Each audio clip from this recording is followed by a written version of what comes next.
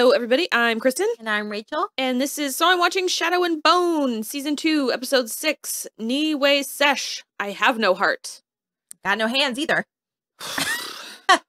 well, we do at the end, but Okay, but it makes him hotter. it does. It's way better than Leslie's hand. Yeah, eh, Lindsay. Lindsay, in yeah. Angel, yeah. It's way better than Lindsay's, Bar- like, Barbie hand. yeah. It's like a mannequin hand. It's like I'm just gonna type.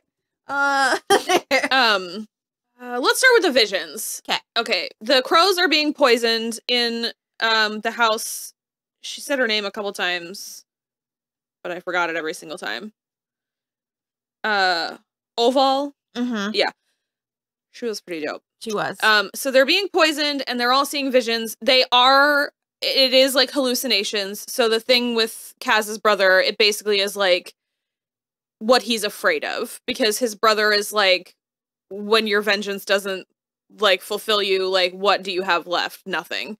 Um, but then it was at the end his hallucin his hallucination Hallucinations. hallucination turned into Inej pulling him from the water as opposed to his brother drowning him. I need them to kiss. I know. Just get over it. Just get. Just stop it. Just stop it, everybody. Just do it. it's killing me. Yep. They didn't even end up kissing in Inej's Yep. hallucination, which that was basically it. Was like them being like tender with each other and he was like taking all her knives and like ugh, it's just they have such good chemistry Yes, too. It's like electric. Um and then Tolya was uh hallucinating that he had killed Tamar. Uh it's all kind of basic stuff. We did see what the necklace does in order to like track that they have to like track each other like a little flower. Mhm. Very cute. Um, and Jesper's was the best because he was having a delightful little mind palace visit with his mother, So nice. who had, I guess, sort of sacrificed herself to save a little girl who Mhm. was poisoned.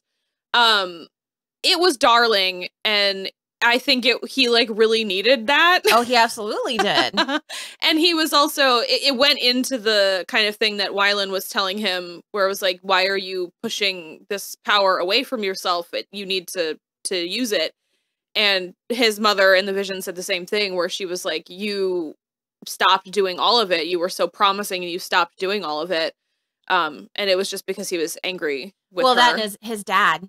did he him say something about it oh, okay Mhm. yeah because if Um, he if he stopped using his magic that no one would come and ask him to help save them Right. Yeah. And then God, that was really good too because she was like, You save your friends all the time. And Mhm. he was like, But they didn't ask me to. Yeah.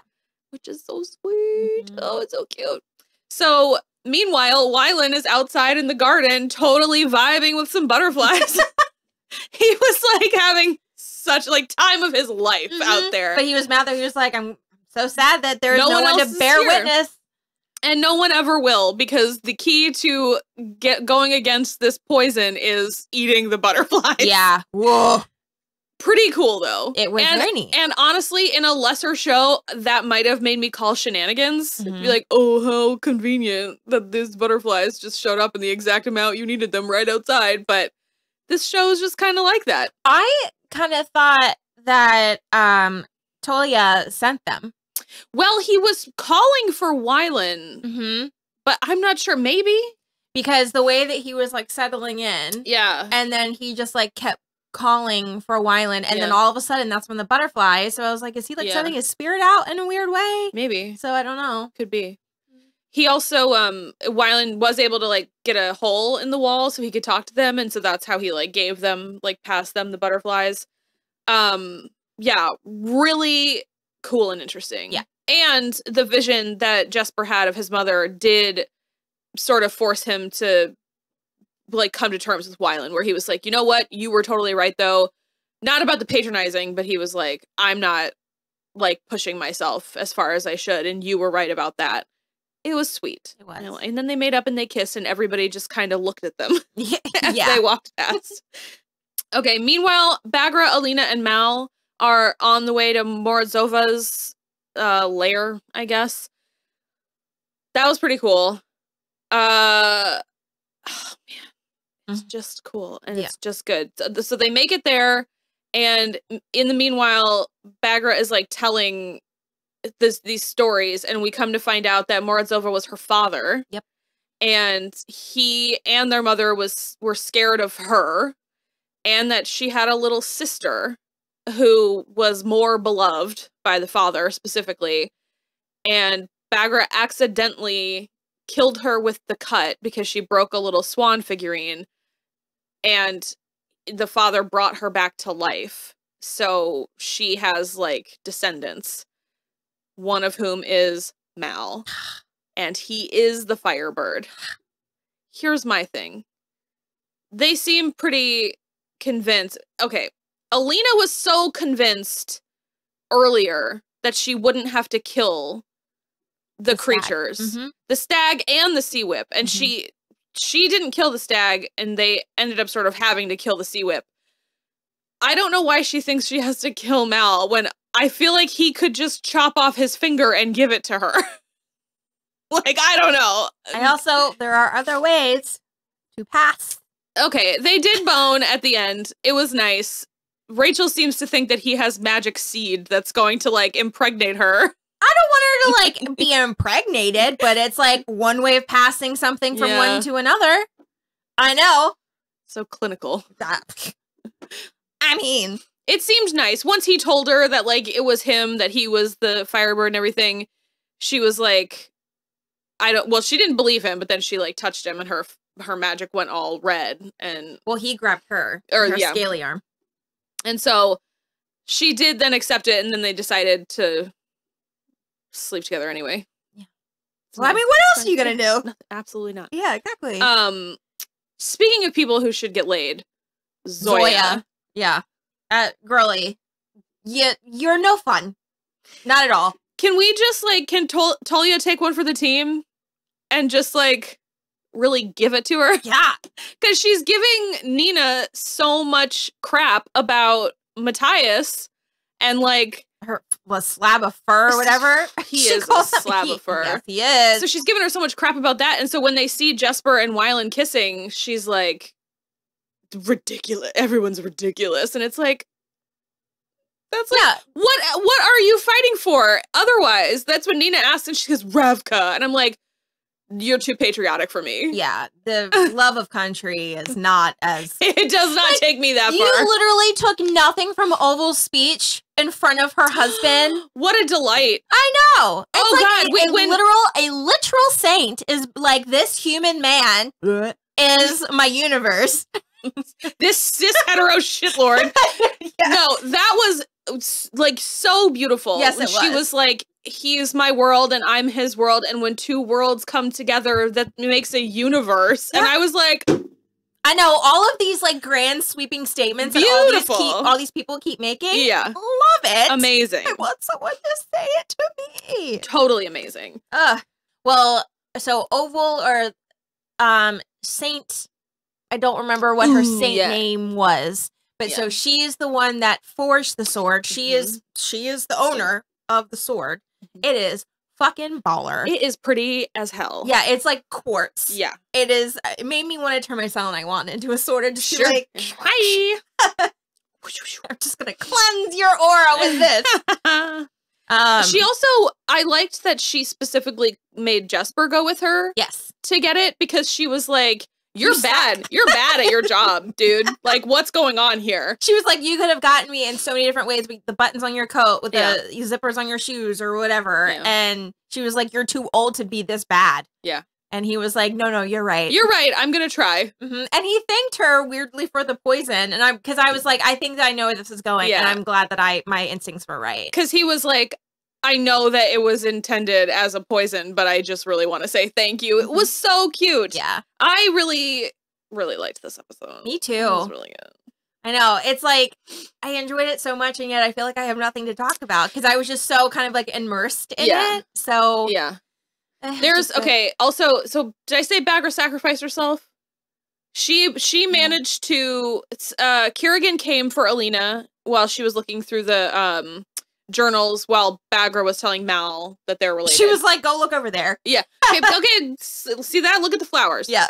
um and so she uh basically was also able to enter the like Their connection. their connection somehow and she chopped his hand right off. yeah, it was fucking baller. It was so cool. And then she made Alina run so they don't have their connection anymore, which Mhm. is pretty great.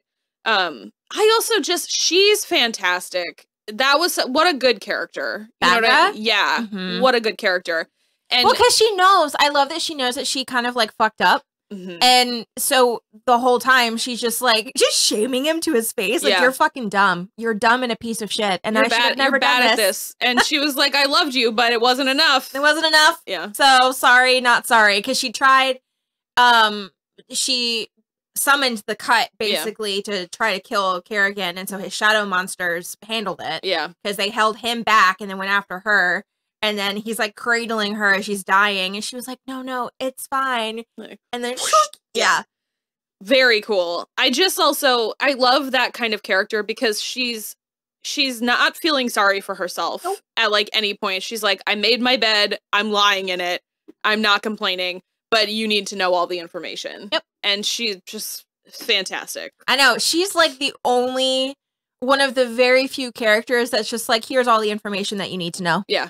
But I think what's so interesting about it is that because she's doing it in such a direct and straightforward way, it doesn't feel like an exposition dump. No, it doesn't. It just is it just feels like that's what That's shield she would do. yes, and it's also situation appropriate. Yeah. like you're not you're right she's not just kind of like info dumping Yeah. at all times it's just like i'm you know oh no you're the firebird like when when i Yeah. figured it out no oh, Oh, you're the oh, firebird it's got you. it got it Yeah. yep here's how you do good. it give give me your thumb give me your because the fact that she was just like just give Just me, just give it Yeah. And blessedly just the thumb. We didn't have to do one of these. although we really did just kind of like run the length of a blade for just right here yeah. like you could have just kind of gone like Yeah. Poke, poke. yeah Oh, the uh the old switcheroo that Kaz and Inej did at the end. oh yeah because he was like, I actually did see something, and I realized there are those people who try to drown you and those who pull you out. And that was fantastic. And she was like, maybe I saw something too. And it was that hope is a weakness. Okay, but like turning his own words on himself like that. mm-hmm. And also, I think she doesn't believe there's any universe where he would actually allow a romantic attachment with her yeah even though I feel like what if he's like um what if he's like Ron Swanson after he has sex and he's just like a feral monster just like totally like finger guns and a red shirt like afterwards. cornrows Yeah, I mean, I'm just saying. I just Yeah. Kaz and Zoya both just need to get laid, and I think everything will be fine. Yeah. Just get it out. I do think that Matthias's cellmate did get buried. Yes, he buried him. Yeah. Mm-hmm. But I think that's mostly it. It was a good episode. Mm-hmm. It was a very good episode. Yeah. Oh, we did get a new uh hot piece, Dominic. Oh yeah, he was very hot. I liked his face. Maybe Zoya will get with Dominic. that'd be nice. Yeah. He's like Nikolai's best friend. I guess think he was his whipping boy. Like as a child. That's what it sounded like. What do you mean? Paint the picture more for me. Like I think that he got in trouble when Nikolai got in trouble. Oh, That's like a thing. oh. Being whipping. So it was like if Nikolai got in trouble, Dominic would get whipped. I don't care for that. Yeah. Mm. They're still besties. yeah. So No harm, no foul. yeah, I don't know. Not your fault, man. Well, it's not like it- like Nikolai didn't pick him. No, I like, know the that. King would have Yeah, picked yeah, him. yeah. But um, yeah, good episode. mm-hmm. I'm like really excited to keep watching Me too. tomorrow. We're tired again. Yes. Thank you, Gratian, for hoping we got rest. We did. yes, we and did. now we will be doing it again. Yes. All right. We'll be back with episode seven and eight on Monday. Woohoo! Bye. Bye.